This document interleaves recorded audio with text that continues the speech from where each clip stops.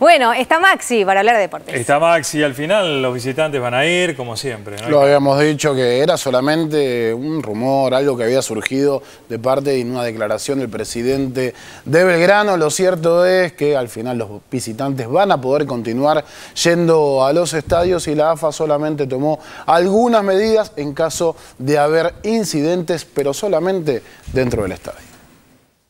Aquella hinchada que provocare disturbios en el escenario donde se disputa el partido, no en la calle, no en la periferia, no en el camino, no en los alrededores, ni antes ni después, será sancionada con una fecha preventiva de suspensión de asistencia en condición de visitante para el caso de que así lo fuere.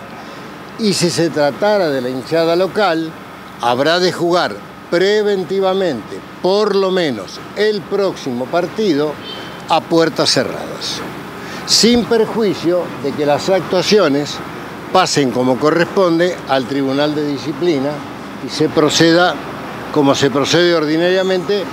De lo que se trata es de acortar los tiempos de la sanción porque todo lo demás tiene un trámite de vista, de apelación, de presentación y de prueba.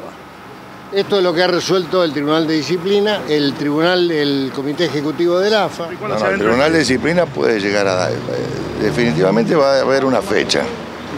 Ahora, el Tribunal de Disciplina también te puede, te puede dar dos, tres, o de acuerdo como sea el problema. ¿Era algo que ustedes querían? ¿Vos fuiste una de las voces que, que- que- que se habló de, bueno, bueno, en cuanto respecto a esto de seguridad?